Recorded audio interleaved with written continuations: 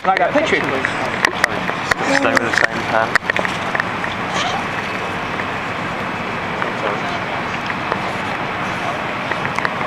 thanks keep it on that please?